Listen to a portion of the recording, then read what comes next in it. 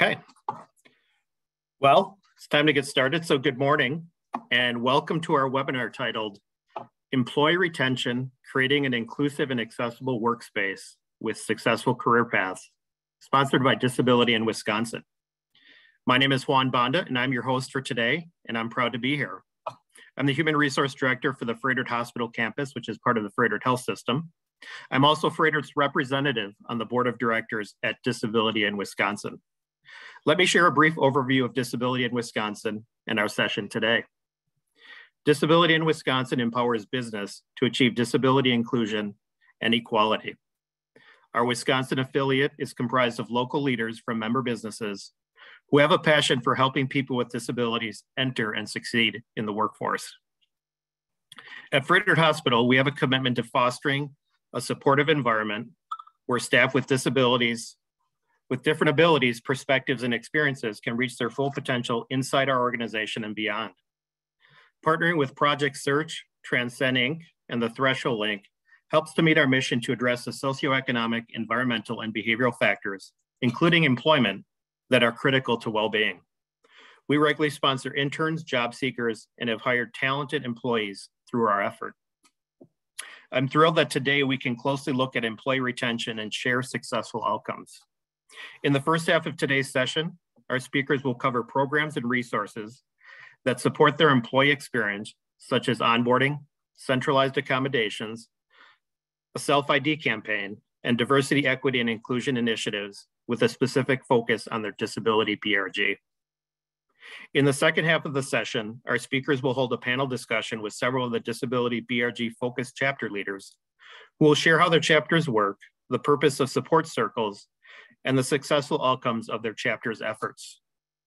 Before I introduce the speakers, let me review our housekeeping tips. Today's session will be recorded with closed captioning. We want your feedback and questions. You can use the Q&A feature at any time to submit a question or comment to our panelists. While we have time for questions, our panel will address your questions as we go. The recording will be sent to all those who registered in the next few weeks. So let's get started. If we can move the slide uh, with our, our distinguished panel. Perfect, thank you. So I'm pleased to introduce today's team from US Bank, one of our member businesses with local presence in Milwaukee. Kelly Risser is the Accessibility Banking Director at US Bank. In her role, she oversees the Accessibility Banking Program. Astrid Benedetto is Diversity, Equity, and Inclusion Strategy Manager at US Bank. She leads the strategy for the Asian, disability, and European employee segments. And Emily Nornberg is a disability and accessibility consultant at US Bank. Her work focuses on identifying and impl implementing strategic activities that improve access and inclusion for employees with disabilities. And now I'm going to turn it over to Astrid Benedetto, who will share more about our speakers and begin today's session. Thank you so much. Hi, hello, everyone. Welcome to Disability in Wisconsin session. I'm going to start with my visual description here. Um, and actually, um, if we can, here's just a quick slides on what we will cover today. On the next slide, please. So I will go over our approach, DEI strategy, and area of focus, including our access commitment, and Emily Nornberg is going to cover supporting the employee experience and then follow up by Kelly Risser, who's going to talk a little bit about our disability business resource group. And she's also going to introduce in the back half uh, our focus chapter discussion. So let me start with my visual description. I'm an Asian woman with long curly hair. I'm wearing a pinstripe blazer with a black t-shirt. Um, let's, before we get too deep, I want to just first discuss how US Bank is really approaching diversity, equity, and inclusion. On the next slide here, if we can advance to the next slide, please, Kelly. Thank you. Language, um, as we all know, really matters, right? It helps us have a common understanding about what diversity, equity, and inclusion means. Diversity, is really inherent. It's what sets us apart, what makes us different and unique. and inclusion is the magic action.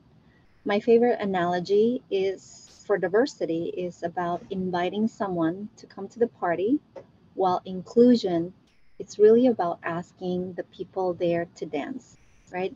And if you take a step further, belonging, it's really about asking them to come plan the party, come plan the dance. What type of music should we play? That is what belonging means. And on the next slide, I, I want to stress the difference between equality and equity. A few years ago at US Bank, we are very intentional about adding equity to our diversity and inclusion effort equality is about treating everyone the same, giving everyone the same access and support and also resources, which is great, right? If we're all exactly the same. However, we're not. And so, equity essentially, the idea is to give people what they need, right? Specific to their their own need so that they can have their best opportunity to succeed. So in this picture, by providing equitable options for everyone, right? As you can see, the wheel or the bike essentially, it it changes for every different person. Versus equality, you're seeing everybody get exactly the same bike. Because our organization's commitment to equity, it really allows us to acknowledge yes, we recognize that customers who have disabilities are more likely to face different challenges compared to customers who do not have disabilities. And all of our initiatives are for the benefit of everyone. And everyone in this case is employees, our customers, businesses, and the communities we live in. At US Bank, we use data to support most of our decisions. On the next slide, I want to talk a little bit more about our DEI strategy. Um, at US Bank, we are recognized nationally for our commitment to diversity, equity, and inclusion. And we're especially proud to be climbing to Diversity Inc. top 50 companies for diversity list. This year, a fourth year in a row, where US Bank was able to make it to the diversity top 50 list, and we were we rose to number 17 versus four years ago, we were number 46, right? So this is um, something that we're super proud of. I want to mention a couple of accolades on the disability that we are also very proud of. This year is our fifth consecutive year on scoring 100 on Disability Equality Index from Disability In. We're aware that scoring 100 doesn't mean that we are already doing things well for the disability community. Our goal is to ensure that we continue to power the potential of our employees and customers with disabilities. We still have a long journey ahead of us, and especially in the digital accessibility space. We are also recognized by NOD, National Organization on Disability, as a leading disability employer for fourth year in a row. Emily will share more details later on during her presentation on how the bank does to power potential of our employees with disability. And Kelly will also share more about our employee groups and what she's working on from the lens of her day job in compliance.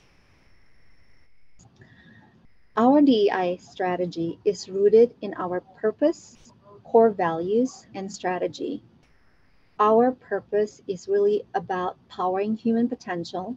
This applies equally to all US Bank employees at every level and in every facet of our business without any exception.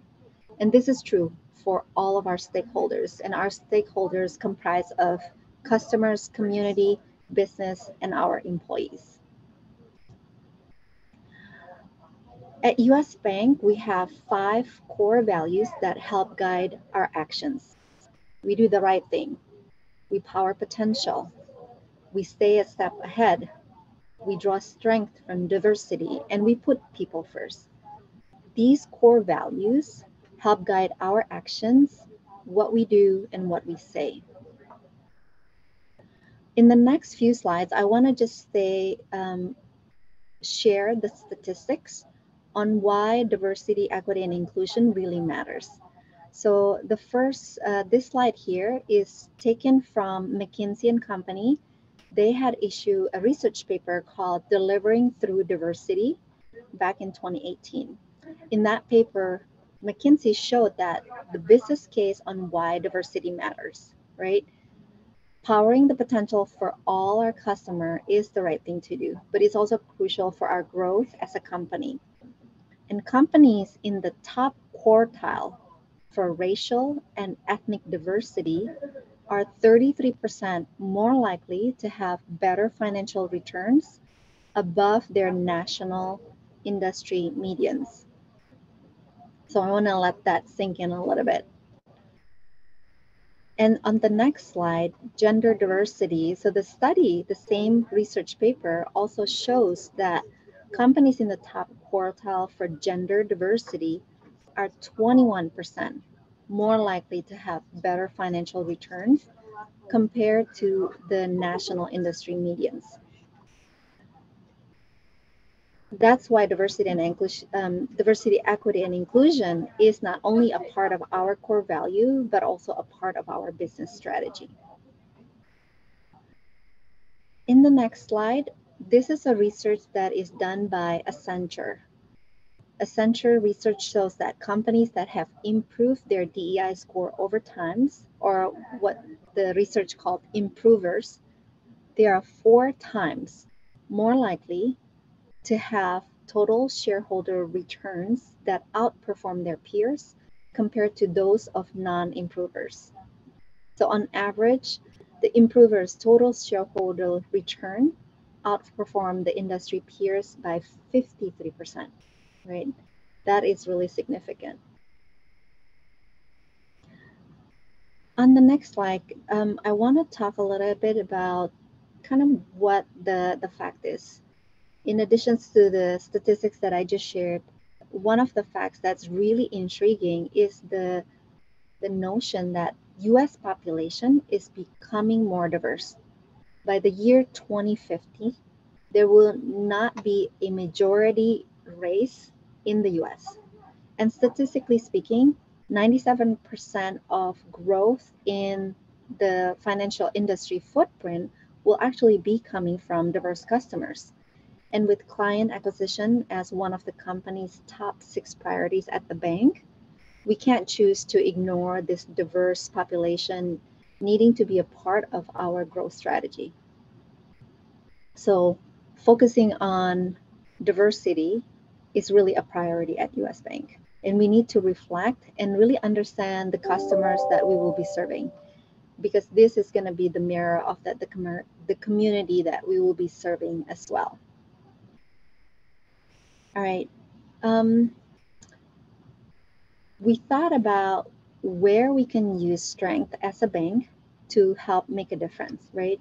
And what we found is that there is a racial wealth gap in the US, and we can use our influence as a financial institution to help close that wealth gap.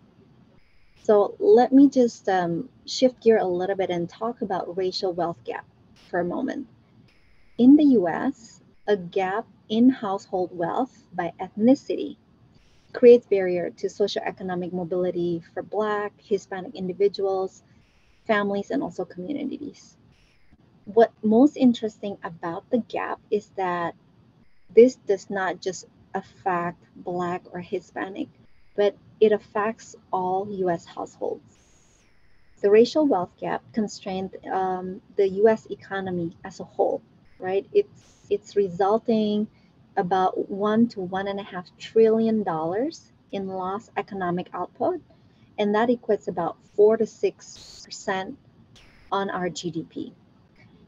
The closing the gap result in an overall increase in US GDP, but also could put up to $12,000 back in the pockets of every American household over time. So this is a win for all the stakeholders and also for our business. So I want to stress the the fact about creating opportunity doesn't really mean that we are taking an opportunity from someone else, right? We're actually expanding that opportunity for everyone. I have a few more slides here to share. Um, next, I will touch on briefly on how diversity, equity, and inclusion shows up across our company. So at US Bank, we really look at in different, we're really differentiated in our approach to DEI because we look at all of areas of the business and we also embed DE&I in everything that we do. So it's not just a one-off workforce initiative. It's really part of our overall business strategy. As a financial institution, we are uniquely positioned to help create a more equitable environment. So for instance, by helping build wealth gap, by helping build wealth and close the persistent wealth gap, we are focusing on four pillars that make up our strategy. So we're focusing on our talent, which makes our workforce. We're focusing on supplier diversity. So really engaging and doing meaningful businesses with diverse suppliers. And also through the work of our marketplace, that's kind of where our customers are, right? We're creating culturally relevant products, services, and also experiences and help to create equitable access to capital for small businesses. Um, and we're also advancing economic and racial equity in our communities through philanthropy. Our social impact strategy is aligned to the marketplace and community pillars, and it guides what we're doing in the foundation, marketing, and some of other the other teams to help the the persistent historical wealth gap in our economic outcome for women, people of color, people with disabilities, and low income communities. On the next slide, um, I want to share a little bit about what US Bank has done last year. Our DEI work really touched many areas. Um, as you can see, kind of a, the whole broad scope that we have covered um, last um, the last couple of years with the pandemic, right? Um, there's been increased violence against Asian American and Pacific Islander. Um, we also have done different programming internally where we are really focusing on diversity and inclusion. So one program that I want to just mention, calling up really high level, is what we call Journey to Inclusion. So essentially, Journey to Inclusion is a wealth of resources, um, and it's a mix of TED Talks, research papers, articles from various different diversity lenses that help all of our employees expand their knowledge around diversity and inclusion a little bit further. Um, we've also done a number of other different things. Um, the DI team and the Disability BRG also have been influencing our DEI effort for the additional project in the last few years. And Emily will share more about what she does as the disability and accessibility consultant. On the next slide here, uh, the work to build diversity, equity, and inclusion into our operating rhythm is really more of a team effort and we call this one US bank effort. So our exact it starts with our executive leader who helps set the tone and the vision at the top, and the DEI team who helps set the strategy. And we have many partners across the bank, um, such as HR, such as multicultural marketing, right? They help build different programs that are targeting different diverse communities.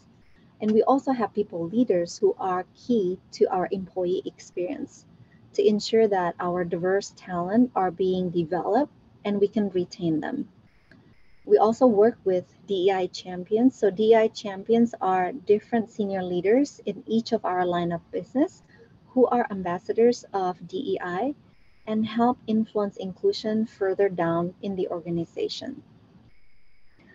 I have a couple slides left. Um, this is where I want to touch a little bit about US Bank Access Commitment. So access commitment is our US Bank long-term strategy to help close the racial wealth gap. some of the commitment that we focus on building wealth for specific sem- uh, segments, for example, um, it started in February of 21 with a focus first on Black community, because according to McKinsey uh, research, the data has shown that the Black community has the largest wealth gap in the US. So we are starting with the community that have the biggest disparity.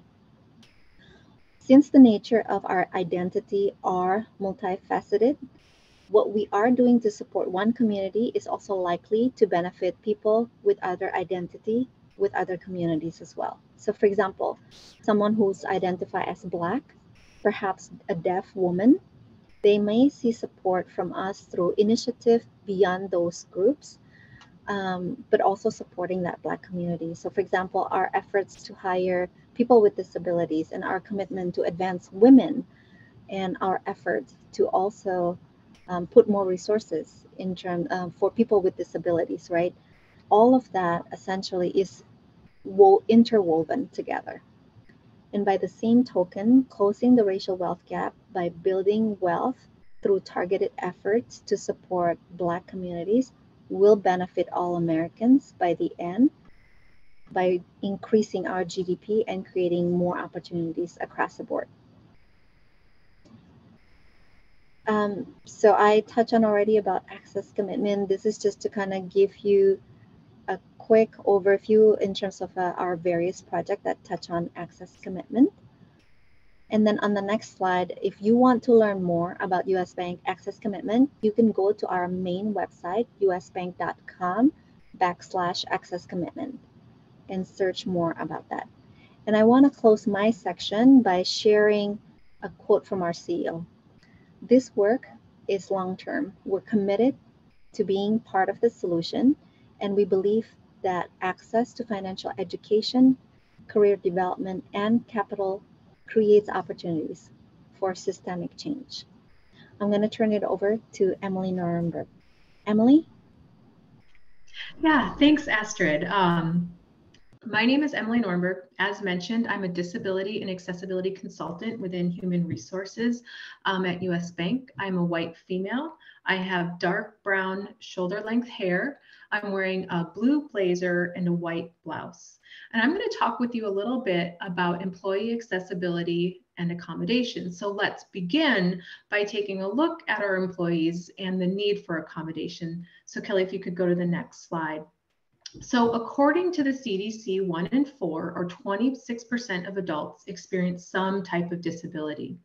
As we consider our workforce, um, research from the National Institute of Health shows that 22% of employees should be considered accommodation sensitive, meaning they would benefit from a disability related accommodation. An estimated 47 to 58% of those employees um, that would benefit from accommodation do not have them. And the National Institute of Health helps us understand the positive impact of workplace access as accommodation sensitive employees are 13% more likely to still be working four years later if they received accommodations than those who did not.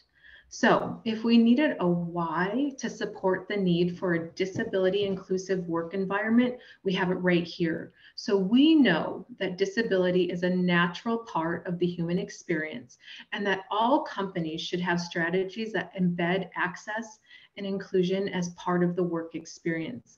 Not only does this help attract talent, but it helps retain talent. And I would say, perhaps most important of all, is that as employers, we want our employees to feel confident and empowered to create the environment they need to excel at the work that they were hired to do. So if we know that workplace access is important and we know that it plays a role in employee retention, the question becomes how do we create workplace access?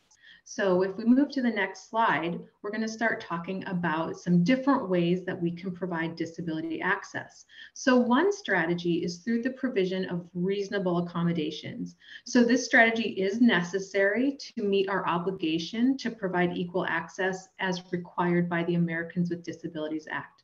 And it's a vital piece of the infrastructure that we need to support employees with disabilities. So let's spend a little bit of time talking about reasonable accommodation basics. So very simply, a reasonable accommodation is a change or an adjustment to an environment.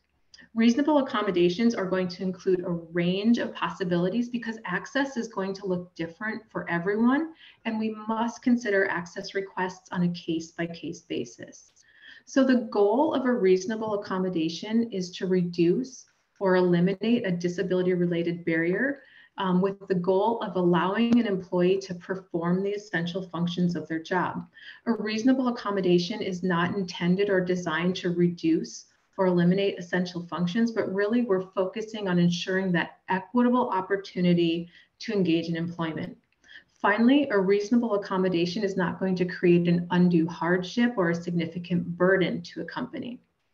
So next, I want to share a high level overview of the accommodation request process. Now, my intention here is not to bring anyone into the weeds of the process, but I do want to take a moment to recognize that people fill various roles throughout a company and lots of folks can be on those front lines of disability disclosure moments or accommodation requests. So the really the key takeaway here is to simply be aware of the mechanisms that your company has in place to support employees as they request a disability related accommodation. So the very start of the request process begins with a request. Um, and our request can be submitted by an employee, it can be submitted by a manager, or really any other individual that has been made aware of the need for a reasonable accommodation. From there, we move into the interactive process, and this is really the heart of the reasonable accommodation request process, the ADA does require accommodation requests to be considered on a case by case basis so that meaningful access can be achieved. So, in this interactive process, we're looking to gather information that helps us understand the impact of the disability condition. The essential functions of the role, and we also begin to explore um, potential accommodations that would mitigate the barriers dis disclosed while also preserving the essential functions of the position. So finally, we arrive at the accommodation determination. So after considering the full range of facts, an accommodation is selected and implemented. We also then need to periodically revisit the accommodation that's been implemented to ensure that it continues to be effective at mitigating the barrier disclosed. Um, so accommodation, and, and, Kelly, if you want to jump to the next slide, um, accommodation is required by the ADA. And it is one strategy that we can use to create access, but it shouldn't be our only strategy. So a limitation of relying solely on accommodation is that it does place the burden on the individual with a disability. So another way that companies can mitigate potential barriers to access is by designing with disability accessibility in mind. So accessibility means focusing on proactively removing disability related barriers. So when we design with disability accessibility as a priority, we can often reduce the need for individualized accommodations and we also often create better experiences for a wide range of people. So companies really that excel at creating inclusive workplace environments for employees with disabilities have adopted a both and mindset. So they seek to proactively design for disability inclusion, but they also have a clear and effective strategy for responding to individualized accommodation requests. So next we're going to move into um, some practice. And so we're going to, the following slides are going to contain a lot of information. And to be very clear, I'm not going to cover all of this information in exhaustive detail, but these next four slides, I believe, are available as a handout. So if I buzz over something, please don't panic. You will have this as a handout. Um, so really, we're going to take a brief look at different disability access scenarios so we can practice this concept of designing for inclusive access and implementing reasonable accommodation. And the goal really is then to understand how these two elements can work together to provide holistic access. So let's start with looking at access and accommodation considerations for visual disabilities. So something that we can do um, as a matter of inclusive access is we can provide accessible routes of travel. So we can remove any obstacles, we can describe a room layout. So for an individual who experiences a visual disability, we've removed any hazards with, with chairs or bags in the aisles that could trip or cause harm to that individual. It's also good for a wide range of users. I don't know if you've ever experienced walking into a meeting room and your face is down in your cell phone or you're digging through your bag, um, looking for a file or a writing utensil, or perhaps you're just deeply engaged in conversation with a colleague. Again, removing those tripping hazards is beneficial to people in different situations as well. Now, something that we might want to think about through the lens of accommodation is Braille format handouts. So the thing to bear in mind is that not all people with visual disabilities read or use Braille. So it might not be something that we want to have available as inclusive access, but something where we clearly want to have a defined pathway for responding to requests and then procuring Braille format materials. So let's next take a look at access and accommodation considerations for hearing disabilities. So something that we can do in the name of inclusive access is talk about auto caption features in our video meeting platforms. Um, so for an individual that is deaf or hard of hearing, this provides an alternative option for accessing auditory content in meetings. But for a wide range of users, auto captions can offer benefit as well. For some folks, it's helpful to see the, the caption stream. It helps us remain engaged in the content in a meeting. If we're working in a quiet environment or in a shared workspace, we have that opportunity to reduce distractions to others. Now, something that we might consider then through the lens of reasonable accommodation is providing American Sign Language interpreting. So not everyone who experiences a hearing loss um, may know or use ASL. So it might not be something we'd want to focus on um, always for inclusive access, particularly if we're working with a known audience. But again, we want to have that pathway in place so we can be responsive and deploy a solution when it's needed or requested. So next we can look at um, access and accommodation considerations for speech-related disabilities. So something um, that is universally inclusive and accessible for all is minimizing background noise. So if a person were to experience some type of speech production related disability that impacted their ability to speak at loud volumes or their vocal stamina. Minimizing those distractions and background noise can really help reduce the amount of times that a person might be asked to repeat information. It's also helpful for other folks. We're in the era of, of online meetings. And so it's very common for us to say, if you're not speaking, make sure your microphone is muted. We're seeking to reduce those background noises, um, making sure everyone can access the content and that the focus can remain on the speaker. Now, something that we might want to consider through the lens of accommodation is providing additional time. So let's imagine that we're in an interview experience with a candidate who has a speech related disability that impacts their rate of speech. The goal is to make sure that we fully understand a candidate's skills and job knowledge for a particular position. And so we need to make sure that the experience that we're offering allows that person the full opportunity to completely and fully demonstrate their knowledge and skills. So additional time might be a reasonable accommodation in that scenario. Last, let's take a look at access and accommodation considerations for invisible disabilities. Something that we can do that's broadly inclusive of a wide range of users um, is presenting information in multiple modalities. So we all have different ways of acquiring information. Sometimes it's a matter of preference, and sometimes it's a matter of how a specific disability condition impacts our capacity to concentrate, think, learn, read. Um, so presenting information in a range of different formats allows individuals to flex into the way that works best for them. Now, something that we might consider through the lens of reasonable accommodation um, could be an opportunity to communicate another way. So let's imagine a scenario where a team participates in a weekly roundtable exercise where we offer report outs of projects that we're working on and activities that are in progress. Um, we may wish to offer an alternative modality for, for those report outs for a person who experiences an invisible disability that impacts their ability to communicate.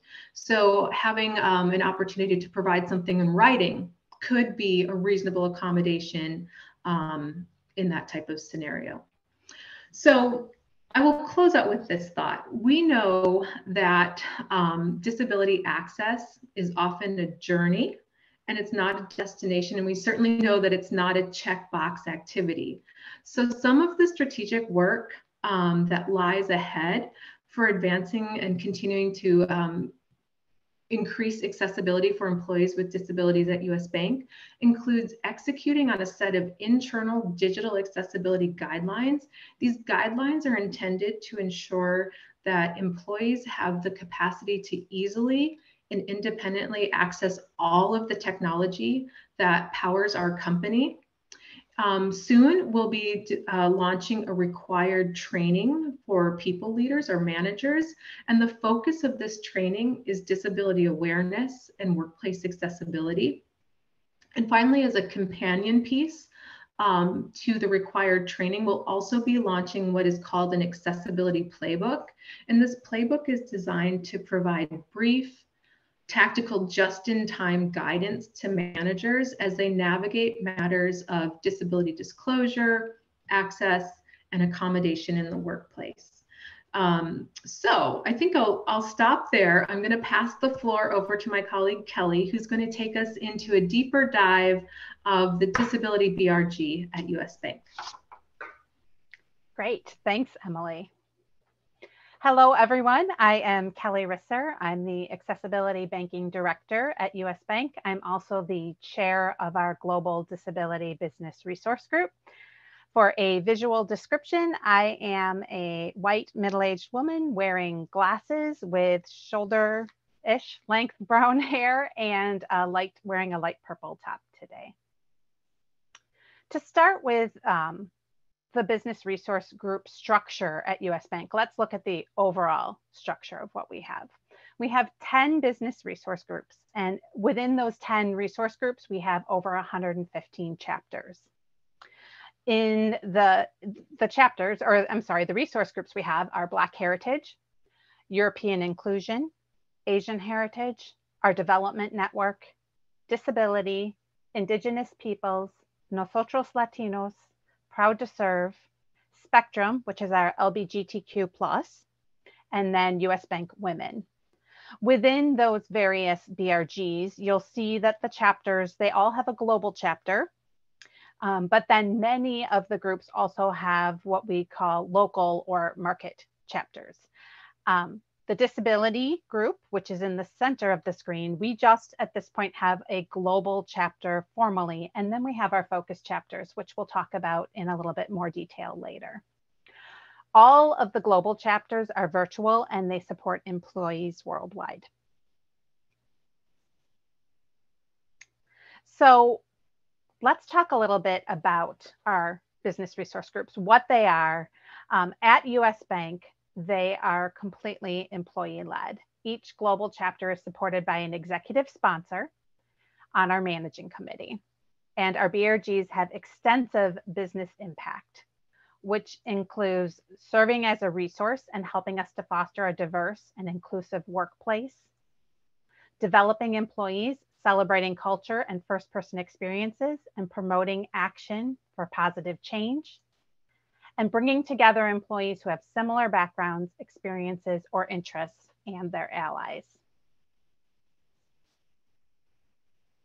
So in essence, what our business resource groups do is drive inclusion. They do this through bringing employees together, providing professional development, celebrating culture and community, supporting recruiting and business initiatives, and fostering an inclusive workplace. So now let's look closer at our disability business resource group. Our disability business resource group has an objective of creating an outlet for employees with disabilities and supporters to network, learn, develop, and contribute powerfully to our company and communities. We started this group five years ago, October of 2017, and we've grown to over 2,300 members. We host company-wide events throughout the year, um, typically, our biggest months are April for Autism Acceptance Month, May for Mental Health Month, July for the ADA anniversary, and then October for Disability Employment Awareness Month. So we launched in October, starting with Mallory Weggemann, the 2012 Paralympic gold medalist, as our keynote speaker. Since that time, we've had Michigan Supreme Court Justice Richard Bernstein and Boston Marathon bombing survivor Adrianne Haslet as some of our keynote speakers in October. We engage employees through our focus chapters and support circles, through partnership events with other BRGs. We do a lot of intersectionality programming. We have numerous development and volunteer opportunities throughout the year. And we have a very active virtual community where we have employees sharing their stories through our blog, which is on our SharePoint site, through our Yammer community, um, and we also hold book clubs and discussions. We also make a point of creating impact in the community. In Minneapolis, they sponsor, US Bank sponsors the sensory friendly programming for the Minnesota Children's Theater. And we have community partnerships that bring individuals with disabilities into the US Bank workplace. So in at the start of this year, actually, all of the BRGs introduced were introduced to three new actionable uh, focuses. And those are connect, share, and grow. So all BRGs share these three focuses. The words are meant to inspire a sense of purpose for our board members and to identify as value to our employees. If a new employee asks why they should get involved, we can clearly say it's because BRG, BRGs will help you connect, share, and grow. So BRGs also have the ability to add a fourth focus that is meaningful to their BRG. In the case of disability, we know that accessibility is what fosters equity for people with disabilities. So accessibility is our fourth focus. And each of these focuses have a director on our board who oversees that focus. So we're gonna look a little bit more detail into each of these focuses and what that looks like in the disability BRG space. So starting with Connect, for the Disability BRG, our Connect goal is to increase representation and engagement of employees with disabilities in our group. We do this by highlighting key awareness days and months, by engaging senior leaders to share their first person disability experiences, and by holding panel discussions throughout the year, especially during our key months that I mentioned earlier. We also promote intersectional courageous conversations between our BRGs. Mary Brown is our Connect director. And Mary is actually, um, she's on the call today. She'll be part of our panel discussion, but Mary is within our um, consumer and business banking space, so within the branches. So it's a really nice fit for Mary, both her professional role and also her role within our board. And you'll see that theme continue as we look at the other focuses. So for SHARE, we have a SHARE goal of developing employee support of the disability community. We do this by promoting Disability:IN programs on mentoring and disability owned business entity vendor networking. We spotlight a disability owned business every month to raise awareness. And right now, how we're doing this is we're focusing on retail businesses that have an online presence for the greatest impact to our employees. And we share those within our, our group's SharePoint site. So we have a business directory on our SharePoint site. Often um, what we've done is reached out to the disability owned businesses and asked them if they'd be willing to share with us a unique code that our employees can enter so that we're able to gauge the level of impact that we have as an organization um, with those businesses. And it's really been um, I think, a wonderful experience. Our employees really like it. And this is something we just started this year, but our directory, as you can imagine, is growing um, quite a bit. So we also encourage volunteering focused on the disability community. Where we have board members within certain markets, they will partner with our development networks to, to plan those in-person volunteer opportunities. But we also have a volunteer portal that our employees can access, and there are virtual volunteer um, opportunities as well. And we'll promote those virtual ones within our member meetings and our newsletters to let employees know about them. And then additionally, we, we connect with campus recruiting and segment marketing, again, to foster those relationships with diverse businesses. The connection here, so our share director is Robin Sullivan, and she is actually in procurement. So in her day job, she works with our vendors. So it works really well that that's also the focus that she has within the Disability Business Resource Group. From a grow goal perspective, we are looking to increase disability inclusion in uh, DEI efforts, leadership development and communications, amplifying the voice of employees with disabilities to affect change. We do this by holding mentoring events and pairing employees with disabilities with leaders, providing member development and visibility through speaking opportunities and blog spotlights. We're firm believers in nothing about us without us. And we provide that platform for our employees with disabilities to share their experiences and make sure that their voice is heard and amplify their voices. We also overview the accommodations process and related resources for people leaders to strengthen the support of employees with disabilities and also for our members to make sure they're aware of the resources that are available to them at the bank. The connection here is that Sarah, our Grow Director, is in recruiting. So she has a really good tie to employee development, um, hiring initiatives, and everything HR related. And then that fourth focus for us that's unique to the Disability BRG accessibility, we promote equity and inclusion through accessibility. We share accessibility resources with the board and other BRGs. We really started this effort um, back in 2020. We've met with all the other BRGs, and we're very proud to say that they've adopted um, accessible formats for their newsletters. They all ask within their event registrations if accommodations are needed. So we've really seen um, our BRGs embracing accessibility. We monitor accommodation request adoption in event planning. So we're, we're watching that. We're working with the other BRGs if they have questions. And we work with DEI to update resources um, for event accessibility we model what accessible events look like. We always make a point when we start our meetings to point out the accessible features in the virtual meeting space. And we'll share that scripting and that information with other BRG leaders whenever we can. And we also look to increase the use of accessibility features in Office 365 across the company. So we promote um, the accessibility checker. We promote the accessible features in Teams, and we work with all the various groups in the company to, to get that awareness out and to help people take action to make sure that their content is accessible. In this case, Brian Francisco, our accessibility director, is in learning development. So he also has a strong tie to the work he's doing on the BRG. And now moving into the focus chapters, I won't talk too much about this because I don't want to steal the spotlight from our panelists, but our focus chapters are led by disability reps. These are individuals who uh, have first person experiences with the disabilities that or with the focus of their chapter.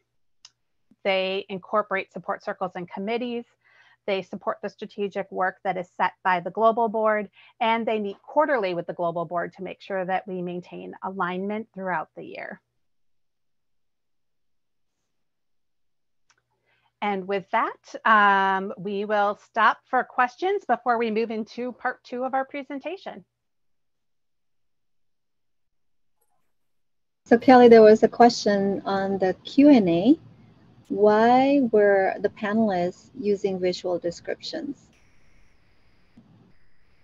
That's a great question. So um, by providing a visual description, we really are being inclusive and helping individuals with vision disabilities to um, to understand what we look like and and um, you know some of the information that they aren't able to consume, but other people just kind of take for granted because they can see our video feed. So we're happy to provide that image description as um, an inclusive practice. Another question that came in, what were the four months you focused on again and how did you settle on the four months within the disability BRG? Absolutely. Well, I will tell you that when we first started five years ago, October was our, our main month. So, Disability Employment Awareness Month. Um, obviously, because that really is very broad and encompassing and supports the entire disability community. As time went on, um, based on the experiences and um, focuses within our board and what our member interest was in, is where we added some of the other months. So um, we added mental health month in May pretty early on um, because mental health is a big focus of our group and we have a very large mental health focused chapter. And so it made sense for us to do that programming. And it's actually a really great month for us to do a lot of intersectional work too with other BRGs. Um, we've partnered with our Proud to Serve military and veterans. We've partnered with um, Black heritage, Asian heritage, Nosotros Latinos, um, and been able to, to really, um, I think, create some broad impact across the company for that month.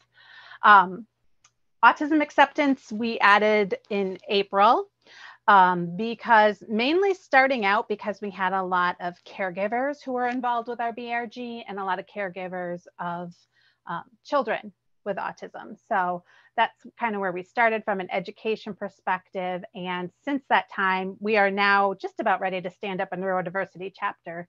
So we're going to see a lot more first person experience um, sharing within um, Autism Acceptance Month.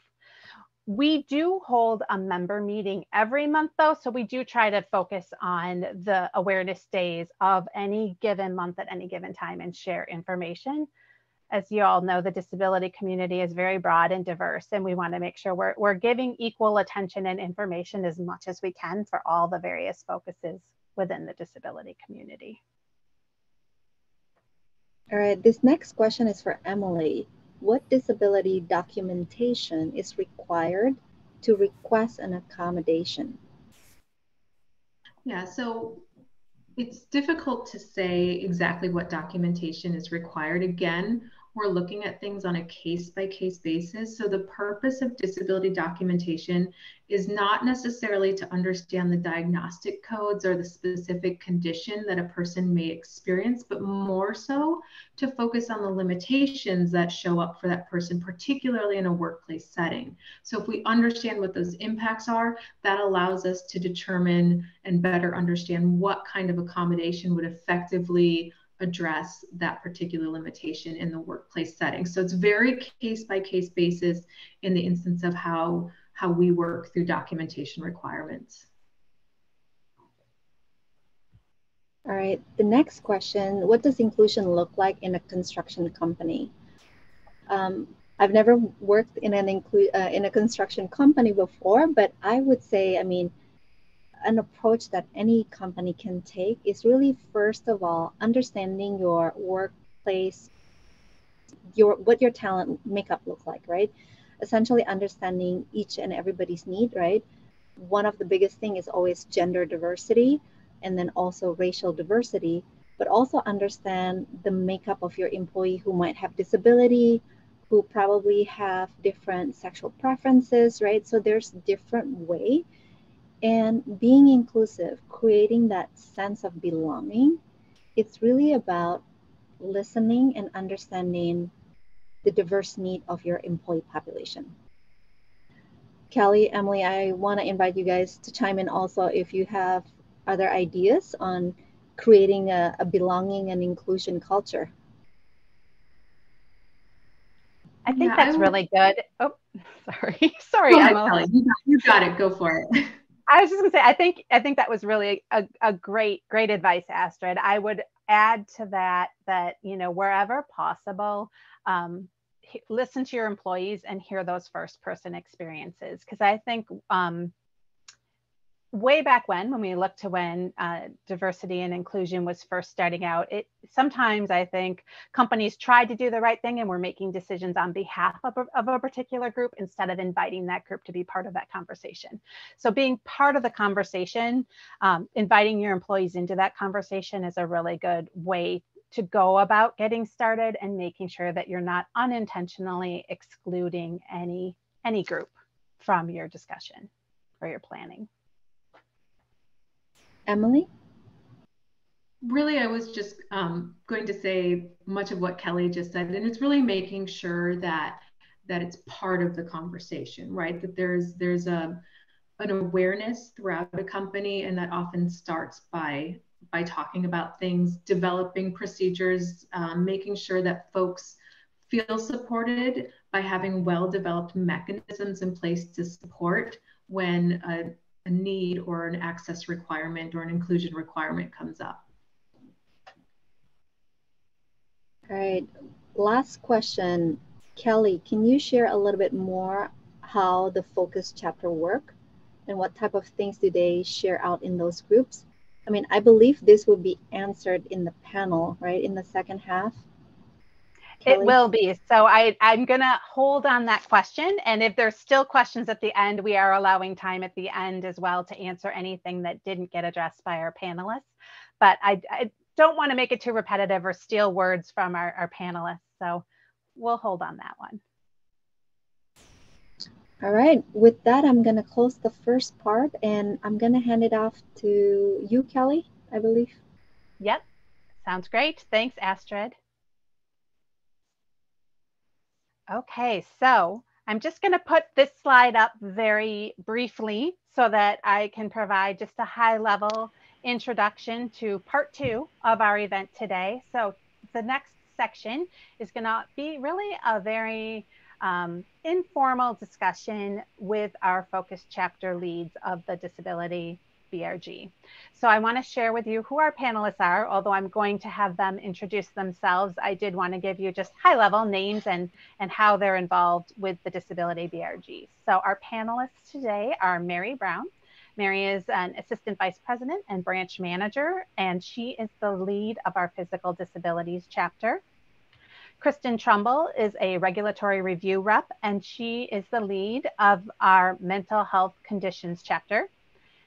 Jane Wiesner is a records manager, and she is the co-lead of our deaf and hard of hearing chapter. Kelly Sullivan is an assistant vice president and product owner, and she is the co-lead of the deaf and hard of hearing chapter. Debbie Hausler is a project manager for our talent and culture enablement team, and she is the co-lead of our caregivers chapter. And then Christy Bartlett is a vice president, product manager, and the co-lead of our caregivers chapter. So with that, I am going to stop sharing so that we can see everybody's beautiful faces on full screen, and then we will move into the panel discussion. So I'll just give everyone just a minute to get their cameras and mics going before I start asking questions.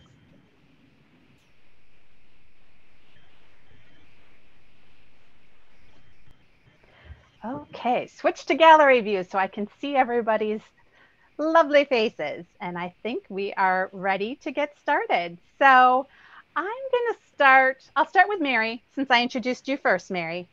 Okay. What inspired you to get involved in the Disability Business Resource Group? Well, I am a person who uses a wheelchair. So when this group came about and I read it in um, different uh, things that came across my desk, uh, being in the retail branch environment, I thought it was so important to get um, information out to branches, to leaders of people in branches, and to make that connection between the branch world. So initially that was my um, reason for coming on the board and, and becoming more involved with the disability group. Great. Thanks, Mary. All right, mm-hmm. I'm going to move to Jane. How about you, Jane?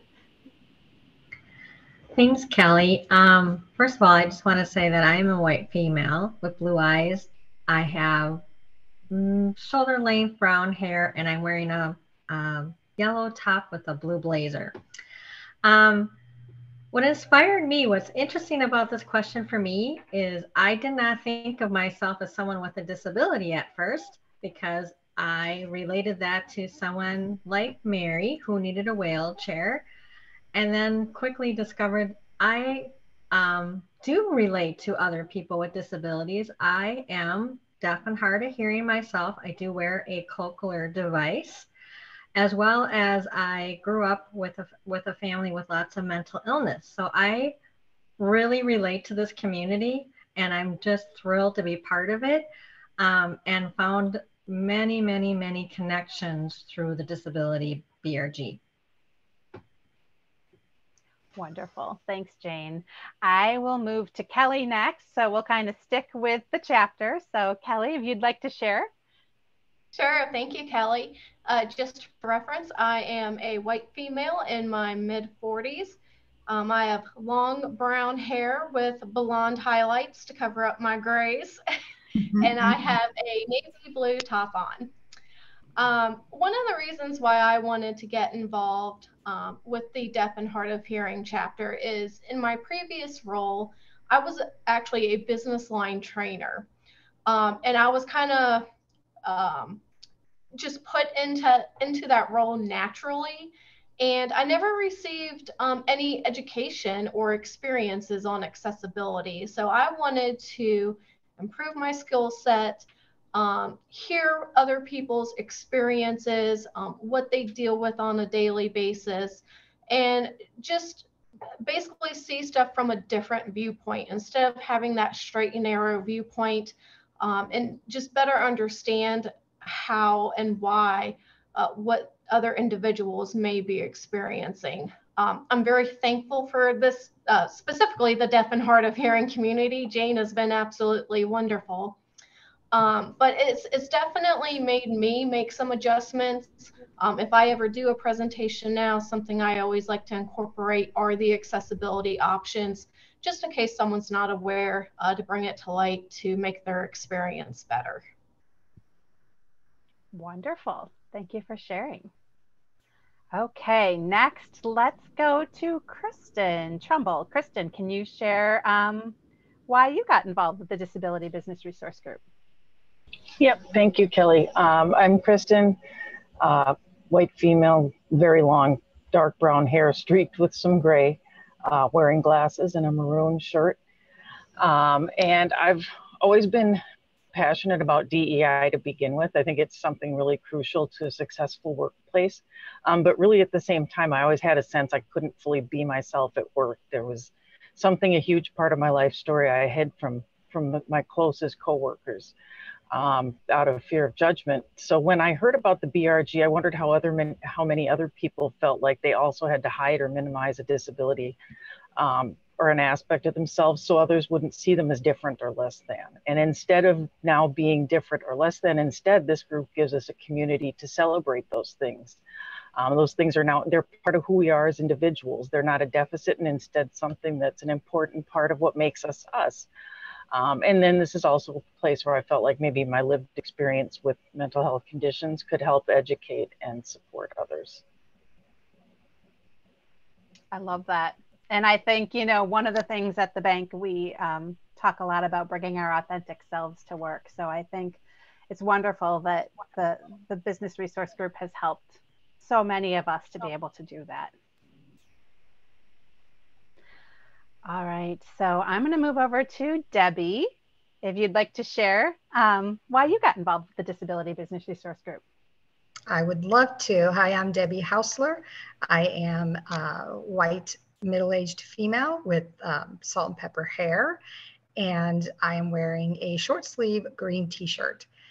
Um, I'm so excited to be here today because when I first actually first learned about the disability BRG, which was maybe only about four years ago, um, I started joining some of the events that they had, and I was lucky enough to be on the same team as Kelly. And she, so she knew my story, and um, I am a caregiver to my husband who has an incurable autoimmune disease.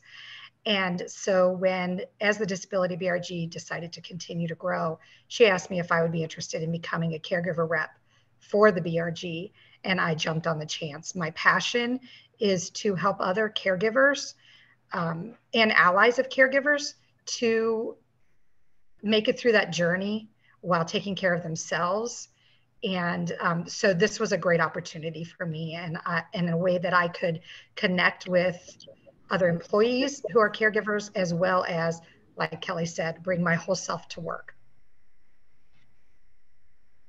Thanks, Debbie. And Christy, not last but not least, if you'd like to share how you got involved with the Disability BRG. Hi, thanks, Kelly. Hi, I'm Christy Bartlett. Um, I am a white female with long red hair, um, blue eyes, and I wear glasses, and am wearing a short sleeve black top today. Um, so I got involved with uh, the Disability Business Resource Group and with um, the caregiving chapter. My son, several years ago, was battling cancer. And during his journey, um, I felt very alienated and alone. And I met many families with children with differing abilities and in various states of caregiving for their loved ones, and really learned that sharing our experiences and resources can be life changing at really pivotal moments um, in, in our various journeys. And so a few years ago, uh, Debbie, I, I um, I'm part of the enterprise innovation team and we were working i was helping out with um, the very first caregiver summit that maybe we'll talk about a little bit later. And uh, that's how i learned about the disability business resource group. And uh, debbie and i met one another and really jumped into both uh, supporting caregivers and supporting the disability business resource group and community. And it's been amazing Oh my gosh, I cannot believe that I forgot November and Caregiver Summit as part of my main months. I'm so sorry. That is huge, huge, huge, and wonderful programming. So, for everyone listening, please add November Caregivers as a very big month within the Disability BRG.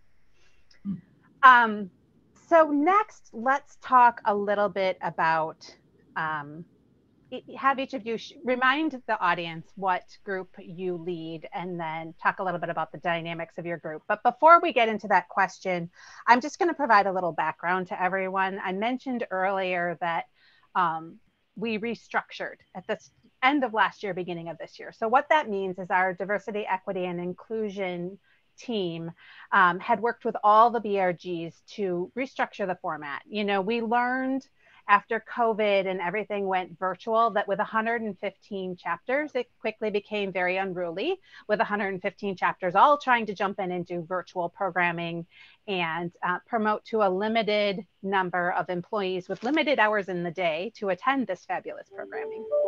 So we have our global chapters now for each of the BRGs and then within that there are the the local chapters that report up to the global or in our case the focus chapters that report up to the global. So focus chapters are really a, a new thing for our um, brg just started this year. And we had our disability reps on our board who um, moved to lead those focus chapters. So that's just a little bit of background on the history of how the focus chapters started. Um, and although all of the wonderful people you see today on this panel have been hold, holding support circles and committees leading those initiatives for the Disability BRG for the last several years. It was really this year that we've more formalized those initiatives into chapters. So if I left anything out of there, please correct me or, or add to that. But I'm going to just jump, go in reverse order now. So I'm going to go to, to Debbie and Christy for this one. So um, if you just want to share a little bit about the dynamic of your of your chapter and tell everyone what chapter it is that you lead again. So Christy and I are co-leads for the caregiver chapter. And so when I think of the word dynamic, because I uh, like I think about what is a, a driving force, like what moves you forward. And honestly, I just say the dynamic part of our group are the people. Um, we have such a diverse, uh, we have such diverse personalities in our group, and we have, and the purpose or the reason why we are caregivers is again so diverse.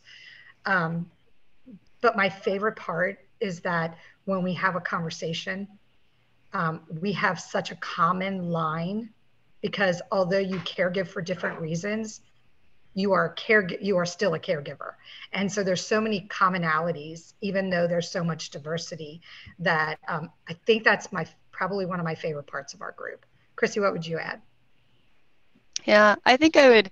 Uh, so I'll add just a little bit on top of that and talk a little bit about our mission. Uh, Debbie and I worked a lot on this earlier this year. So really our mission is to create a compassionate community to support caregiver well-being. So ultimately, we're really wanting to celebrate and encourage and then provide resources to every caregiver across US Bank. And I echo exactly what Debbie said. Uh, people are coming in in various stages of their journey. Some very vulnerable. Some have been um, on their journey for a while. Really open to sharing, collaborating, um, learning from one another to really build and help each other, um, you know, grow. And the other thing that really stands out to me is is the unlikely connections that I know Debbie and I have made that we never would have made to really support others and help them uh, get you know get to you know if, if, it's a good place or a stable place or or uh, whatever it may be for them. Well, I also love um, some of the other initiatives that have come out of your group that are related to caregiving, like the self care component, right? Like I just think Eh, you know, it's really great to see the ways that employees engage with your chapter and the different ideas that get brought forward. Absolutely. So, we cool. talk yeah, about that a lot right. about how Yeah. Yes. Go ahead. Absolutely. Sorry. I was just going to say that um, you know, with with caregiving, you it's very difficult to care for others if you're not caring for yourself. So that also uh, became a, a, very apparent and a focus uh, for some of the work that we do do, uh, because you you as a caregiver need that that energy and drive to be able to support those that you love. I love that. All right, so Kristen, if you want to share, remind everyone your chapter and talk a little bit about the dynamic of your group. Yep. Um, so I lead uh, mental health conditions, and we have kind of two main aspects to the group. We have a, a committee uh, that plans events, um, you know, panel discussions or webinars and things like that that we open up to the full company. Um, and then we also have the support circle, which is a confidential discussion group. And the support circle, I'd say, is what's really grown exponentially um, in the last year or so. Um, there's really a huge need for people to have a place where they can come together and talk openly, um, whether it's about their mental health challenges or their family members with them. Um, so that's something that's just become um, a really important part of that, that chapter. That's great. And I will say that um, mental health conditions, many of the members have shared their, their first person experiences either through panel discussions or on our um, blog on our SharePoint site as well. So um, it's great to see um, that, that vulnerability and that openness that people have and that comfort level that they have to share and know that they're supported in, in, in sharing. Yeah, and every time somebody shares one, it, it seems like it, it kind of has a ripple effect, and more people become comfortable speaking openly when one person starts the conversation. Absolutely. And and from that perspective too, I have to say thank you to all of you because I know that you all shared your first person experiences when you joined the Disability BRG board, and you helped to pave the way for others to do that. So um, thank you for what you've done as well. Okay, so let's go to Jane and Kelly. I'm going to kind of group you both together since you both co-lead the chapter, but if you can share about your chapter and just what the dynamic of your chapter is like. Thank you, Kelly. Um, well, the deaf and hard of hearing community started off very slow. In fact, I think there was only three of us for a couple months that would meet and talk about our struggles and what it was, um, how hard it was sometimes to be in a meeting like this and be able to hear the presenters. Um, tools have improved to help hearing um, resources. And we've talked about, we've shared experiences about um, what headsets work best, what hearing aids work best. Um, how can we get closed captioning the message out there to everybody to always you know have the avail- availability to turn it on if we need closed captioning um, things like that so we've had a lot of really good discussions but i'm going to circle to what both christy debbie and kristen said just we have now grown to almost 40 people and um, and that's just in, I would say, the last year. We started about a very small handful of people a year ago, and now in, uh, we're up to 40 members. And in a company of our size, to find connections or individuals who share the deaf and hard of hearing experience would have never happened without a BRG connection. Um, so now we do know each other, and we do know each other by name, and we're we're having fun with it. Or I mean, once in a while, when we have a unique experience. We share it. We get to laugh with each other about it because we can relate. Um, so that's been a really blessing for us. So we have people who know us and kind of like what Kristen says, you don't feel alone. There's people out there um, who has that experience and can share it with you, talk to you, and take care of yourself with it.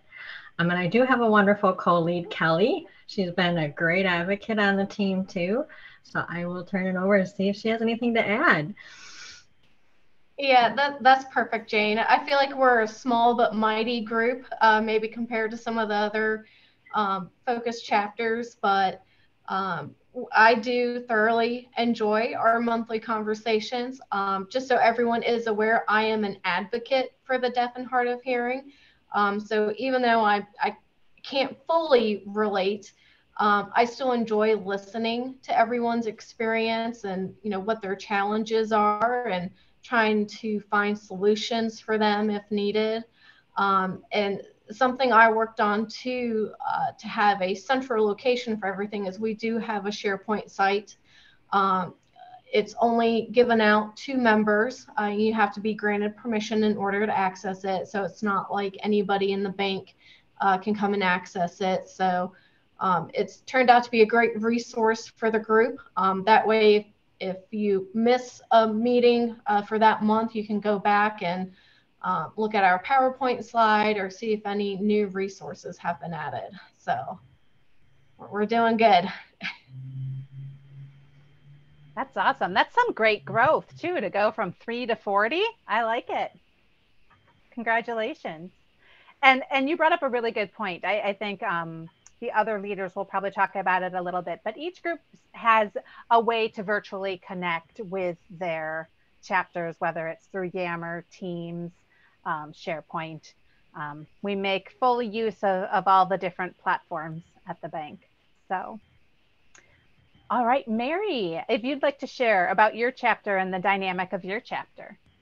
Yes, thank you. So I lead the physical disabilities group. As I shared before, I do I am a person who uses a wheelchair and scooter, and I have a handicap van now. So I've become very independent in the last year, which is so awesome for me. And I love to share my experiences. So when Kelly asked me to continue to lead this group, I absolutely said yes. I do have a co-chair with me, Andy Elliott, who is actually the vice president of our global board. And um, she has dystonia, which means she is not able to speak. So, in a lot of the meetings and when we share things, I am her voice. And I'm so honored to do that on her behalf because she is such a strong, strong, intelligent woman. And I love that she's part of our group and continues to be a strong leader in our group. Um, when I am in the Cleveland market, and like I said, I'm a branch manager. So when I would go to manager meetings and when Cleveland Columbus would get together, there'd be about 80 of us in a room, and I was the only one that looked like me. I was the only one in a wheelchair. And you always get the people, oh, can I help you? What can I do? And uh, though I appreciate that, I just wanted to be more inclusive in that group and make sure that people knew my story and know kind of how to treat me and how to treat other people that are in my situation. So I really love this group that we've put together. And like the other ones, we started with two people, just Andy and I, and then it has grown from there. And then we got two more people to join, and so forth and so on. And we just did our third year in a row of the ADA celebration. And after that presentation, it was like a takeoff. So we had several people join our group after that as well. So we've got 25, 28 people in our group right now. And when we do have our calls, there might be five, six, 12 people on it. So it still remains a smaller group. We have a conference call once a month and the last Tuesday of the month. Um, it is a safe space. And I always tell people this is not recorded, it's not shared anywhere. So people can truly talk about whatever they want. We usually do a go around and do introductions, especially if there's some newer people that have joined and they kind of want to get to know our story and what we do. And then it's kind of open for business. We don't really have an agenda. Usually, something within uh, people introducing themselves will spark a conversation. And I always tell them when I when it gets close to the meeting, I'm like, oh, not another meeting. And then I get on that meeting and I share and I hear and I listen. And I'm like, I feel so much better for having done that. And I've taken it one step further in my uh, market specifically. And I am teaching now. And I know something's going to be rolled out here company wide, but I took it on myself to kind of teach within my group and within my districts. Um, went to my boss and said, We really need some leader instruction on how to deal with people with physical disabilities. And so um, I've started teaching uh, the packet that we have through our disability group on, di- on disability etiquette, and it has been so well received. I can't even tell you how many e-cards and compliments and phone calls I get afterwards, which obviously is not the reason for doing it, but leaders are more equipped. People I think that have physical disabilities, people don't know how to ask them. They don't know how to approach them. They don't know what the etiquette is. So this group, especially the global board, has allowed us to be able to do that within our smaller groups. So I thank you, Kelly, for being such a great leader in this group and for all the chapter leaders. So thank you. Thanks, Mary. That's, mm-hmm. you know, so invaluable, I think, to provide that disability etiquette training, especially, you know, when we're talking, the audience is mainly employees that interact with our customers on a regular basis, right? So really exactly. important that they have that comfort and they know what to ask and, you know, how to support our customers. Mm-hmm. Great. All right. So um, next, I'm going to just skip around a little bit because I think I'd like to really ask you, each of you what advice would you have to the audience on the call today if they wanted to start focus chapters within their company? What advice would you have? Are there any, you know, learnings along the way that you'd like to share um, that would be helpful? So we'll we'll zip back through in reverse order again. So I'll start with you, Mary. Um, I, I, would say if you have a passion for it, and I know everybody that leads a group does, um, to find other people that are like people that want to start a group and want to be open and honest. Some people have mentioned bring your um, true self to work. I think that's the biggest thing for starting one of these groups is to make sure that people feel comfortable within themselves. And like I said, I'm the only person that looks like me, but getting on this chapter and getting on the global chapter, I find out, and just like people said with the deaf and hard of hearing, there's so many other people like me out there that had I not been part of this group, I wouldn't have really known the expansion of how many people like me are in this company. So I think that's the thing is just get started. Take that leap of faith, you know, do something um, to get yourself noticed and to make sure that the company knows why you want to do this, that it is a personal um, passion within yourself. I say would would be the biggest reason. That's great advice. Great advice. And and you're right. We have 70,000 employees. So one in four, you know, just in the United States alone, one in four Americans has a disability. Many disability disabilities are invisible. So there's just no way to know who has a disability. And it's been wonderful to to make those connections, you know, and being a virtual chapter to be able to have that global reach to bring people together has been really great. All right, Jane, what advice do you have? Well, I'm going to agree with Mary. Have a passion. Um, the other thing I'm going to uh, say is be brave. Be brave to share your story. Be brave to be vulnerable. Be brave to connect. Um, it might feel awkward at first, but as soon as you connect, you're going to immediately feel like you have a whole community out there that you never knew was there. And you are going to be your authentic self because you have someone who relates to you and you're um, blessed to be part of that community and you get to know them and and um, so I guess my biggest advice is just to be brave and just go for it. It does it's a little risky on, you know, on a personal level, but at the same time, what's that saying with a great risk comes great reward. So lots of great rewards. Wonderful. That's exactly what came into my head was that saying when you said that. So love it. Um, Kelly, anything else you would add? Nope, I agree completely with everyone else. Um, just don't be afraid to put yourself out there. Like Jane said, be brave. Um, know you're not alone. Um, whatever someone else is experiencing, nine times out of 10, someone else has either already experienced it um, or someone else will be experiencing it. You know, I do have one question for you. Um, being involved with the, the chapter as an advocate, how has that helped you then in other aspects? Have you been able to take that advocacy back to your team and others to help grow awareness?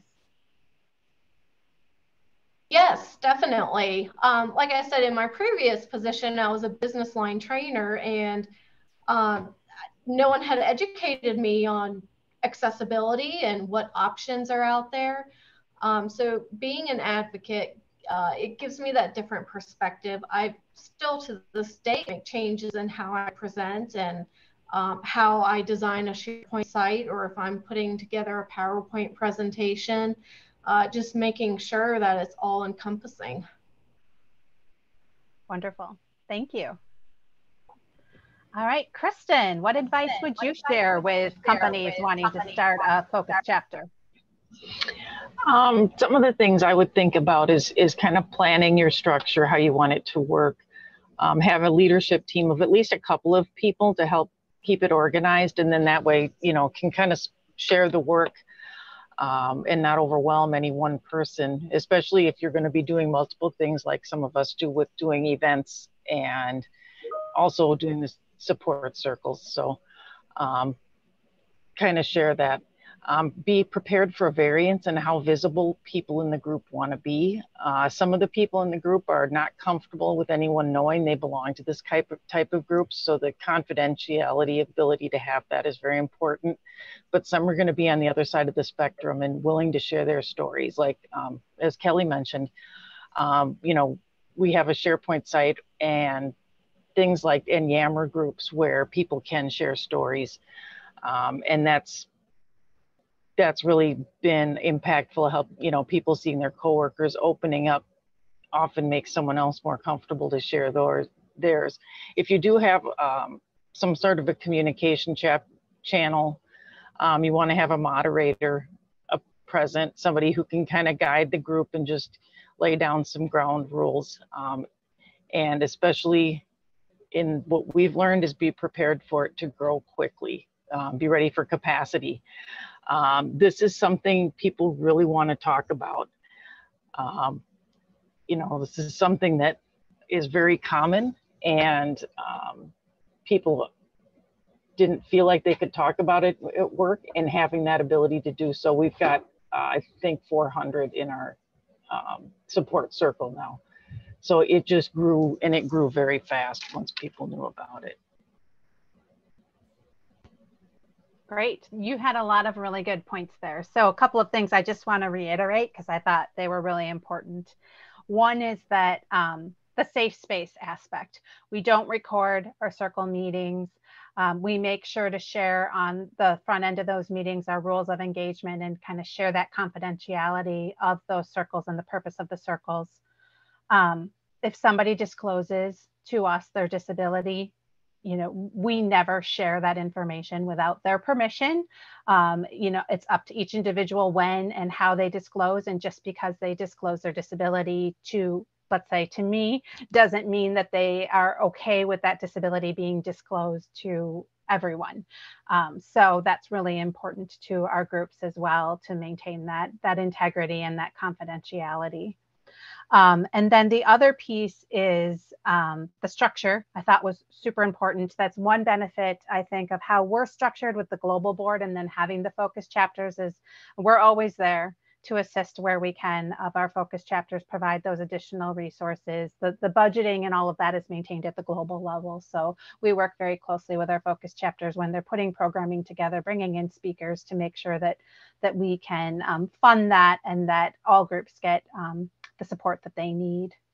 Um, so I think great points, really good points. And with that, I'm going to move to Debbie and Christy to share. Let's start with Debbie. Share what advice would you have for focus chapters? Well, I love what everyone has said, but I would say um, don't doubt yourself because that was a big part of my hesitancy. I mean, I was so excited for the request to be a caregiver rep, but I, I was really doubting myself. And so I would say don't doubt yourself and recognize that there are a lot more people living in similar living in a similar journey that you are. Um, and this is a great time to do it. I mean, with all the negative, not so great things that came out of COVID, the really one of the really great things is the recognition that we can't pretend like we're not a whole person. We can't leave our home life at home and go to work anymore. Um, I mean, our home life was work for a few years, so it it kind of gave us a platform to be able to. I think that's why this ramped up so quick. The caregiver chapter did the same, started at zero, boom, we exploded. And it's because people are looking for that connection now. Um, and so this is a great time to do it. And i think the other thing i would say is in line with the um, support circles that we do monthly yes it's confidential um, but learn to be okay with silence. And sometimes we'll have a topic that's a really difficult one and somebody will say something and they will just be quiet for you know a period of time and learn to be okay with that because it allows people who um, aren't always quick to speak to process and then feel comfortable in the silence to be able to speak up. So i think those are the things that popped into my mind. That's great. And, and honestly silence can be supportive yes absolutely and Christy. I, yeah, I just have one one add. Um, and you talked about creating the framework and resources to support the chapter. I think that's so integral. And then um, I think we've talked about support circles. Uh, we also have chapter meetings. So there's kind of the, sort of these two two pieces that are happening. And um, the, the one other piece I would think about as as uh, you look at a focus chapter or think about uh, standing one up is surveying the interest of those to find topics and um, find ways to really engage. So if if you start with what we'll say a chapter, but maybe not a support circle just yet, because you're trying to build up a chapter to then um, you know have some deeper, richer conversation maybe survey the interests of those that are coming to those uh, to that chapter or thinking about that chapter to to figure out you know how might we deliver you know what's going to be really meaningful to you? Is it how to care for yourself how to care for a loved one for example uh, in in the work that debbie and i do? Or uh, you know what's really what are they really hoping to to learn and gain from being a part of that particular chapter. And Kelly, if I can just say one more thing, Christy sparked a thought. Um, you know, I know we've all mentioned a lot of numbers, but remember that this isn't about the number. And so remember that it's about the individual.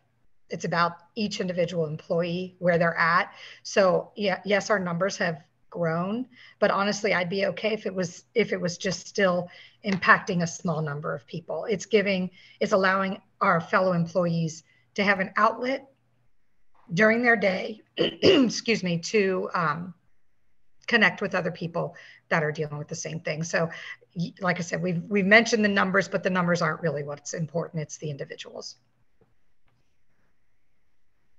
That's a really good. And I think we try to do that a lot too, just in in our measurements. It's it's about the the qualitative, not the quantitative. So um, there's nothing more um, important to me than when I hear from an employee who says, you know, that was the the best presentation I've heard in my career at the bank and that moved me and that impacted me to do this or that right and and to see the action our employees are taking to you know visit our mm-hmm. small business directory and and purchase from a disability owned business or sign up for volunteering or when we bring in a nonprofit like we brought in Best Buddies in March this year to hear how employees across the United States are signing up for the, the buddy walks and looking for how they can get involved with those organizations. It's just that's to me where the real power of the group lies is in helping employees to find each other and helping employees to take action in the things that matter most to them. All right, so we probably have about, I would say, one more question before we want to kind of open it up and, and let others ask questions. And this is kind of a big one, so I'll let take your time answering it. But the question I really want to know is what's on the horizon for your chapter, either the rest of this year or as you think about 2023 and beyond? Where are you really hoping to go with your chapter? What kind of programming are you thinking of doing? Um, and let's go again reverse. I'm liking this forwards, backwards, reverse. So we'll start with Christy and Debbie on this one. Sounds good. We'll split it in half, Debbie. I'll start with the Caregiver Summit, and I know we've I'll let you talk about the other pieces. So uh, November is Caregiver Month, as we talked a little bit about before, and uh, Debbie and I and a team are hard at work, uh, really planning for that Caregiver Summit. Uh, it started a few years ago. This was, I think, Debbie and um, Mary. So she's she's another member of our caregiving uh, focus chapter who started the Caregiver Summit, and it's really to connect with employees. Um, really bring information, resources, and really support them where they are. Um, and always looking to bring in new voices and and new information to support um, caregivers and and caregivers of all in all different spaces, right? So you may be caring uh, for your aging loved one or your young loved one or um, you know wherever that may be um, and so just just really building out uh, that summit program and delivering on uh, a couple of different days uh, different shorter topics really consumable topics uh, for people to to um, uh, learn and grow and and hopefully help one another And I would just add to that, um, the summits are like our big thing we love to do every year. Um, but we also have, we just actually implemented in the last couple of months, we're doing monthly lunch and learns. Um, we were getting some feedback that they are, our members wanted more opportunities to connect. And um, we are so, so lucky to have um, someone on our board who is who facilitates for a living. And um, she is wonderful at pulling together decks for us and topics. And so we've been doing that now for a couple months um, and we've gotten really great feedback. So our new lunch and learns is kind of fun.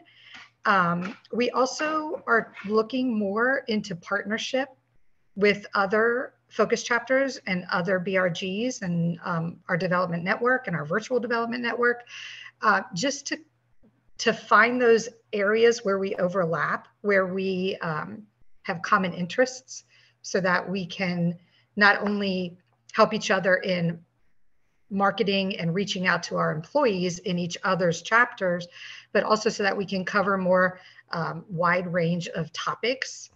And um, so that's something that we're really looking to ramping up and spending more time in um, finding those opportunities. Wonderful. Yes, our caregivers focus chapter is a very active chapter. and we appreciate everything that you do. And Kristen, if you could share where mental health is going this year and into next year.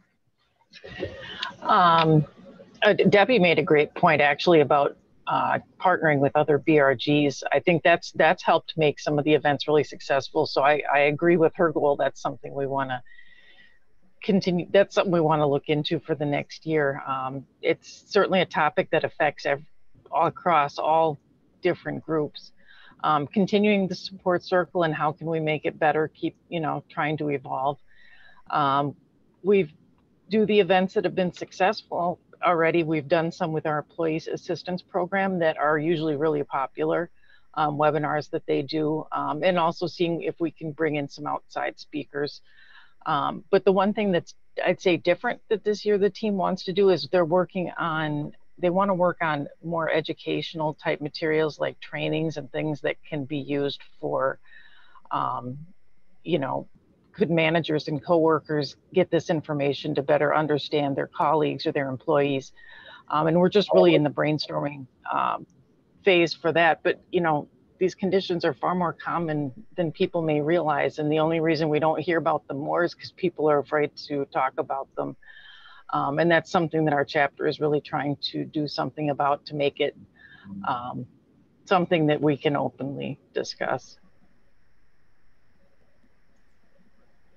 Thank you. Yet there's a complexity for sure to mental health conditions, not only the per pervasive stigmas, right, that have continued for so long and that there's a lot of that that hurdle to overcome of people misunderstanding but there's also the the invisible nature to mental health conditions as well that um, you know there's a lot of work there for helping leaders and others understand how they can support their employees. So yeah and how their employees can maybe feel more comfortable coming forward if they are having something that's that coming forward and, and asking maybe for some kind of an accommodation to help with something that they're dealing with at that time.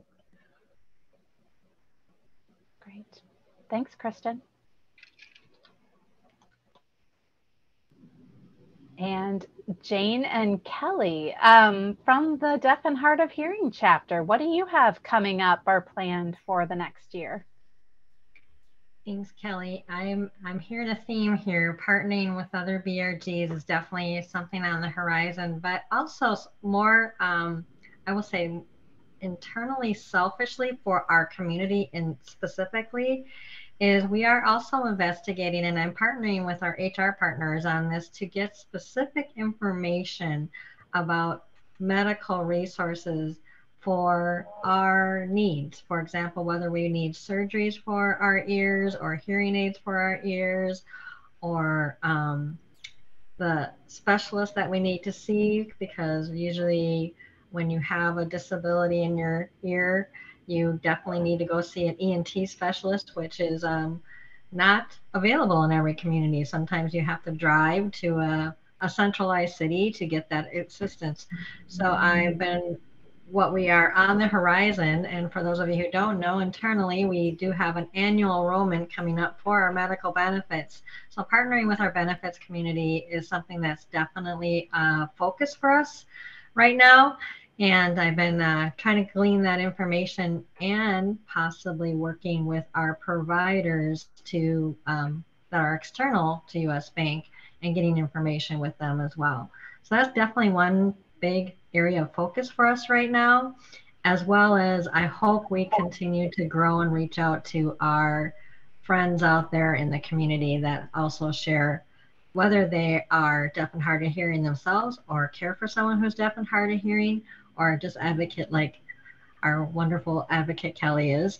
Um, so um, we definitely want to continue to grow our momentum and growth. Yep, I would agree with everything you said, Jane. Um, of course, trying to bring awareness to our group. Um, a lot of new members had mentioned they didn't know we existed, but they're they're just so happy to join. Um, and again, we're happy to give them this confidential platform. Um, last meeting was really fun too because Jane put together some trivia for us to do. So we switched it up a little bit um, and it was fun and engaging. Um, so we'll just continue to look for different ways um, to have our monthly meetings and uh, definitely participate in events like this. Um, you know, we Jane and I also participated in the Global Awareness Accessibility Day event. Um, that was a lot of fun. We did myths versus truths, um, celebrities who experienced deaf and hard of hearing. Um, we also did an American Sign Language demo. So uh, we definitely enjoy doing events and uh, just bringing awareness. Love it. Thank you. And thank you for mentioning Global Accessibility Awareness Day. I think this was the first time that US Bank had a large company wide scale event to celebrate Global Accessibility Awareness Day in May. And um, as Kelly mentioned, we had the deaf and hard of hearing panel, we had a vision disabilities panel, and we had a parents of children with disabilities panel. So um, was really great to be able to share those first person experiences with others in the bank and really help people understand how accessibility or a lack thereof impacts people with disabilities. So um, that was really great. And Jane, I have to shout out to you for the advocacy work you're doing with our benefits because I remember and I, I have bad memory. So I don't know if it was, I, am going to say disclose. I don't know that this was US Bank. It could have been my previous employer, but my daughter wears hearing aids. So I remember looking at the hearing aid benefits and seeing that it only covered through like age 14 for mm-hmm. children and it didn't cover adults at all. And I'm like, so are they trying to say that people miraculously hear when they hit the age of 14? Like what happens, right? So I'm so glad to see um, the insurance companies are are increasing their coverage in that space and that we have people like Jane and others within the focus chapters who are advocating to, to get those benefits even better than they are today. So thank you. All right, and let's move to Mary for the physical disabilities chapter. What is on your horizon for that group? Yeah, and I want to echo the same thing to Jane. That is one of the big things that comes up in our smaller group is the um, getting accessibility to the benefits and what can help these people that are really going through from someone that has lived with a disability their entire life to someone overnight became disabled. And I always, when I do the training, I say, unfortunately, this is a group that anyone can join at any point in their life and probably will. And if not, they're going to be a caregiver or have someone in their family that joins this group. So to be aware and have that stuff aware to um, all employees is so, so huge, especially for our group. Um, one of the great things that we've been doing, and we just, like I mentioned, um, just wrapped it up, is we kind of honed in on July as our month for our physical disabilities group. It kind of coincides with the um, month where the ADA was signed into law. Um, that was July 20, July 26th, 1990. Um, and so we've kind of taken that month to share with the physical disabilities group in our chapter. And the really great thing about ours is I get people and I ask for volunteers, and these are people that have never spoken before, never had the chance to have a platform, and all of a sudden they're sharing their story, and they think it's so incredible. So I'm hoping that you know going forward we can continue to do that in July. This um, was our third year. Um, last year we did the quote unquote joys of traveling, which anyone with a physical disability knows that is an oxymoron. Um, and then we did um, the one this year in This Is Us. And it's just, you know, a day in the life of a person with a disability. So that's so great for people that, like I said, to have a platform and share their story and share the uh, things, the hurdles they've had to overcome. We also have caregivers of people with physical disabilities in our group as well. So it gives them a lot of encouragement. It gives them some resources. I love when people like you, Kelly, shoot me a message. Hey, I don't even know where to start. Where do I go? And I've got that resource to go to them. Um, and then the other thing that we've done, and, and I just shot you an email this morning, so hopefully we can partner on this again. Um, but I've partnered with our local chapter of um, the Berea Chamber of Commerce, of which I am now the president of. Um, and my daughter runs that. Um, she's executive director. So we've partnered with our BRG group here to bring in speakers um, to talk to businesses and how to make them more accessible. What brings in people with disabilities to spend more money at your at your place? Um, you know, are aisles easy to get through? Are is it conducive to people that have that can't stand loud noises or uh, bright bright lights and stuff like that? So we've really come to um, this will be our second year that we're going to be doing that, And I'm working with a lot of the local um, universities here and uh, people that want to partner and do this as part of their DEI series. So kind of making that connection is kind of awesome that spawned off of this little idea that this bank had five or six years ago of starting this group. So it's really been beneficial in my life, in my community, and I thank you again for helping us to partner in that. Absolutely. And thanks, Mary. Thanks for mentioning the, the community involvement too. That's such an important piece of what we do, the programming. Um, events like this with Disability:IN Wisconsin. I know we've done some events with Disability:IN Minnesota, and then of course the Berea Chamber of Commerce um, that we did last year and, and will participate again this year. So um, that's really all the questions I have for our panel. I do see a couple questions in the Q&A and I wanna make sure we answer those. Um, so the first question was, um, I'm gonna, I'm gonna actually reverse the order of these questions. So one question was, is the total number of focus chapters four? Um, and the answer to that is we have more. That's just who's on the panel today. So I'm gonna go ahead and share again this one slide just to be able to show you a visual and help with what we have from a focus chapter perspective. So we started with blind and low vision, caregivers, deaf and hard of hearing, invisible disabilities, mental health, and physical disabilities. So most of the ones that you're seeing on the slide, we added cancer as a focus chapter in 2021. And actually, um, later on this month, we're going to be announcing our newest focus chapter, which is neurodiversity. So that would bring our total to eight.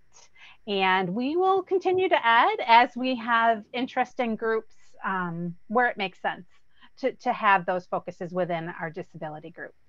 Obviously that, that we can't encompass everything for the disability community. So where we don't have a focus chapter, we cover um, the other programming through our global board and the events that we hold through those monthly meetings and the, the advocacy we do in those monthly meetings. Um, the question that's kind of a follow up to that is how did we start the different chapters? Did we start them all at once or did they naturally get there over time? So we actually started by adding disability reps to our board. And that's when we were a virtual chapter. And then when we went to the global chapter, we we asked the disability reps if they would lead slash co-lead our um, our focus chapters. And that's how this year was really the start of, of transitioning to focus chapters. So we had support circles and committees running independently before that point, and now they roll up through the focus chapters. Anything anyone else would add to the answers I just gave? Kelly, I would just add that through our group, I just had a recent person join who would like to start a chapter on long COVID because um, it is a real thing. People that have had COVID that are dealing with its symptoms. So that might be something to talk about within our group and how we actually start that, or if it falls into the neurodiversity group or something of that matter. But uh, it was something brought to my attention. I thought I would mention it. Yeah, no, that's great. Thank you. Mm -hmm. Okay, so with that, um, I know we're, we're just about five minutes to the top of the hour, so I'd like to turn it back over to Juan. Great, thank you, Kelly. And, and wow, I uh, am so impressed and so appreciative. There's a lot of thank yous. First of all, what an amazing group of leaders from US Bank who, you know, are leading by example, their presence and, and commitment of time today. I couldn't be more thankful. So thank you uh, for a great two hours today. Uh, also want to say a special thank you to our programming committee at Disability:IN, especially Martha Kendler, who, who do a lot of work behind the scenes to make events like this uh, possible. I just want to add a few reflections in keeping with the spirit of the vision and mission of Disability:IN, which is to build an ecosystem of employers where we can share information and have opportunities like today. And there were so many takeaways. I, as an HR leader and a member of Disability Wisconsin, I was furiously scribbling, scribbling down notes. Uh, although I do want to remind everyone in the next few weeks, if you did register, we will be sending you a recording of today's session. But Astrid, with her opening remarks, I was really impacted because at Froedtert Health, we are focused on health equity. So to talk about US banks um, goal on uh, closing the wealth uh, the racial wealth gap was really impactful. And I encourage all of you as you go back to the to the recording to, to look at their access commitment webpage. I thought that was really interesting. Emily, your comments in terms of not just why, you know, we know why this work is important, but also sharing data and the fact that employers who focus on a strong accommodation process, uh, their four-year retention rate is is 13% uh, higher than than other organizations was really meaningful to me. And your comments about distinguishing accommodations versus accessibility, I think was really informative and educational. And I love the way that US Bank is is backing up their their values by by making uh, by having a plan to, to have required disability awareness and accessibility training and building a playbook for leaders. So that's something I took away.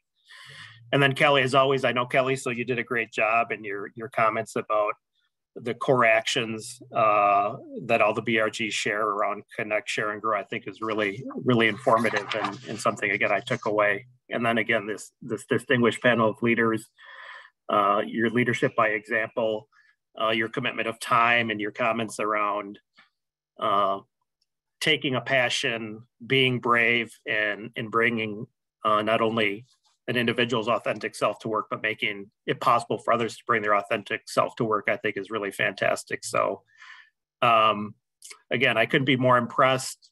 I, pre- I thank you all for joining today. I want to thank all of you as participants for taking the time today. Um, and I'll just make a final note as we continue to uh, live out our vision of Disability:IN Wisconsin. We do have our annual Wisconsin Ability Summit coming up on October 13th uh, as we come out of the COVID experience. Uh, we are doing it in person, so I encourage you all to learn more about that event. And if you are able to join, we certainly invite you to do so. So with that being said, uh, we are gonna wrap today's event. Thank you all again, and I wish you uh, a great rest of the week. Thank you.